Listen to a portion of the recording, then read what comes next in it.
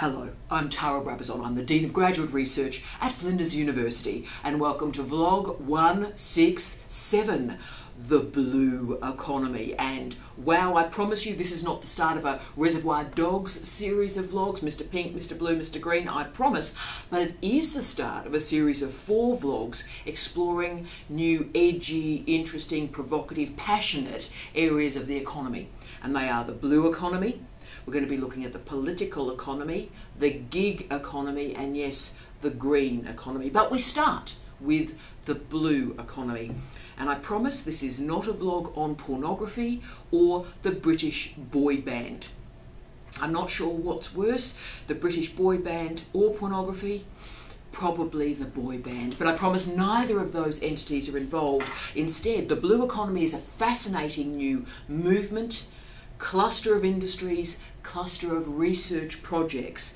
And we in universities, you as PhD students, have incredible opportunities in this area. And you, as a PhD student in myriad disciplines, wow, can be a part of this. It is an exciting time. So, the blue economy, as you can tell by the noun in that phrase, the blue economy comes from economics. It explores the money that is made from the marine environment, from our coasts, but also our oceans. And the challenge with this term, and wow, it's a provocative intellectual puzzle, is how we balance protection and use or preservation and exploitation. We have to get that dance right. And sustainability is the key. Now, I have some challenging relationships with the word sustainability, like I do with the word resilience, by the way, because both of them are used so glibly these days that the meaning is unclear. So when people say sustainability, what does that even mean anymore? So we need to drill down a lot more and provide some very clear definitions, I think.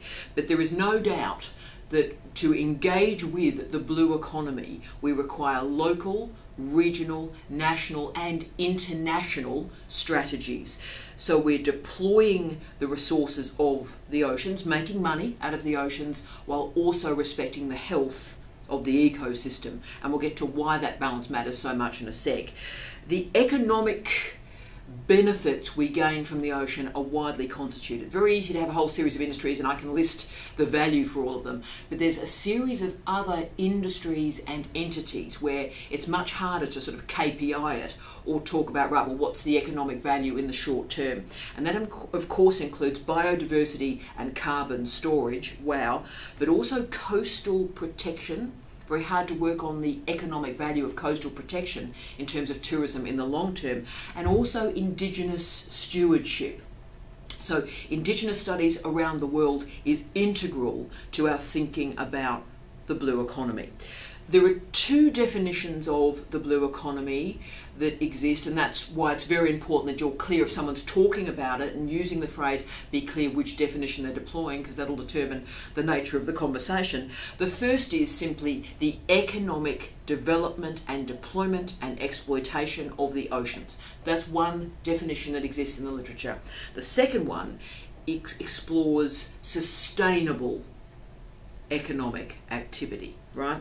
So, why sustainability matters so much in the blue economy is that the sectors involved in our oceans, our coasts, our, our maritime environments, the industries involved are so diverse that if one industry goes for it and you know exploits it and makes a lot of money, goes, we can make money here, let's do that, then it can destroy the other industries. So that's why it's very important that a balance is created and sustainable development is considered. Because particularly environmental tourism and nature tourism, which are very, very large areas of those industries at the moment, and particularly the coastal regions can be threatened. So if we simply go for it, if we simply go, right, well, we're in the oceans, we're going to make some profit here, let's do it, then a whole series of longer term economic advantages are cut off. And that's why I think the word stewardship is important here as a trope, as an imperative. I like it a lot. I think there's some very interesting work to do around it because ecology and the economy must be aligned. And those of us that have lived through the last 40 years know how complicated the ecology and economic dance can be. It's getting very, very tangled up, and we need some clear thinking and some good research to move us forward. Because what we require is a functional strategy and policy for development. And that development will be economic, it'll be social, it'll also be cultural. And therefore, universities matter, academics matter, researchers, PhD students matter, because we are the people who are best skilled to configure the balance to inform good policy. Now, we know particularly for the Pacific Island nations, and my respect to all my friends out there working in island studies, you are wonderful, your research is absolutely inspirational.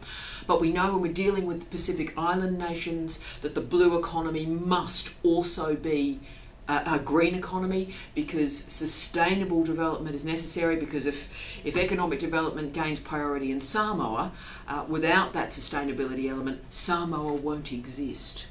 So this is an economic discussion as much as an environmental one, and they must interface because two thirds of the economic value of the oceans is based on a healthy ecosystem. Now that's incredibly important. I'll say that again. So two thirds of the economic value of oceans is based on a healthy ecosystem. So if the ecosystem is destroyed, then two thirds of the dough is destroyed focuses the mind.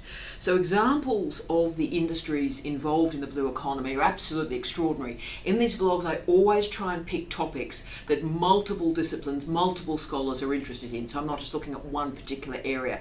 And wow, with the blue economy, this is most of a university, to be honest with you. It includes obviously fisheries, it includes tourism, sustainable development, maritime transport, offshore oil and gas, obviously, renewable energy, aquaculture, algae, let's not forget algae, big fan of algae, seabed extraction, but also marine biotechnology, crucial, coastal protection, waste disposal, shipbuilding, ship repair, and the surface science required to do that, and also desalination. And that's just the start of the list, right?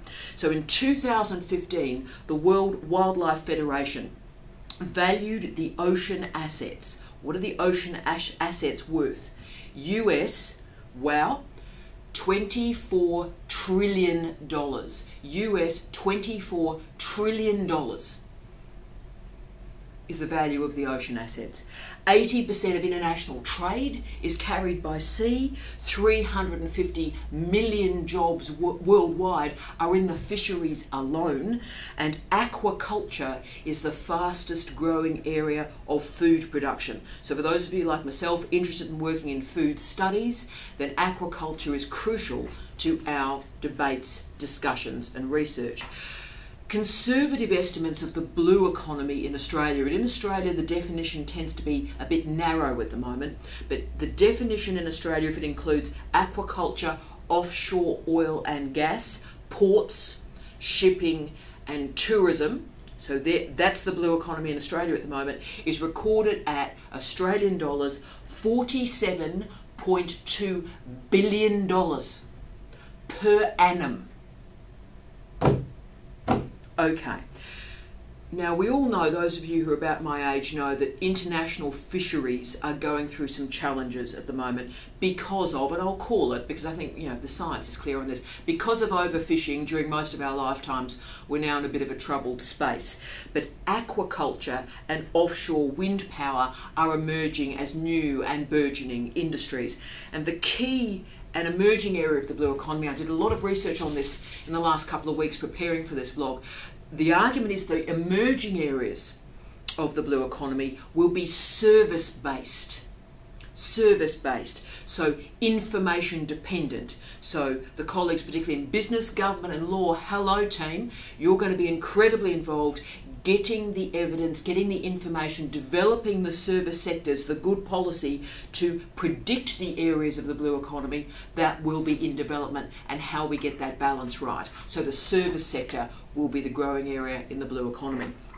So yes, obviously marine science is incredibly important. Big hi to all the sharkies, you rule. But so is food and food studies, so is coastal tourism and regional development, also island studies, and maritime law and jurisprudence. So This is a radical, all discipline discussion. It's post disciplinary, it's interdisciplinary, it's transdisciplinary, it's multidisciplinary. It's the lot. So the challenges that we've got when we're trying to think about and think through and develop a blue economy, the challenges though are clear. Firstly, the resources of the oceans have been overexploited and overfishing has occurred through most of our lifetimes. That is an issue, that is a problem, that is a challenge that we need to manage. But secondly, and that's why we're doing this vlog in some ways, there's a lack of education.